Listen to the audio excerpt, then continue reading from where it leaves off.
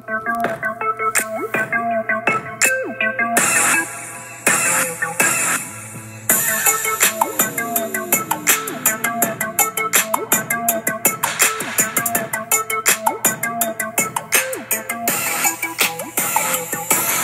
Hello, everyone, and welcome back to my channel. If you are new, welcome. I'm so glad to have you here.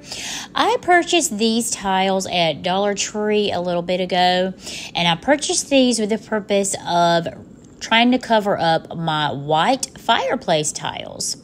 Now, this is a bit of gold and white. It's got a little bit of decor on it, as you can see.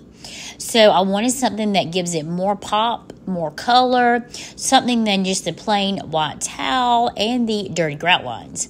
So this is what I have at this point, and of course the back wall is going to take a lot more care to install because of the fireplace mantle and the faux stone. So I'm using this nifty little gadget here.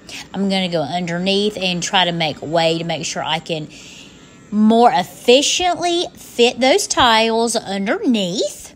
After that is completed, this is, and a lot of tweaking, that is the final result. I am pretty proud. I worked hard on that. I think it looks so much better.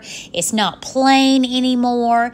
It's got a lot of pop, and I think it's just gorgeous. I am very pleased especially with the tile purchase on a very great budget from the Dollar Tree. So, thank you so much for watching today's video. I hope you got inspired. It was short and it was sweet. It was meant to encourage you to try to get out there and do the same, knowing that you can redecor even the smallest pieces on a budget, even doing so at the Dollar Tree if you so choose.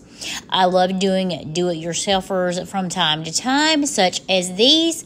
So if you would hit that like and subscribe button and that notification bell so that you do not miss another episode of Life with Shannon.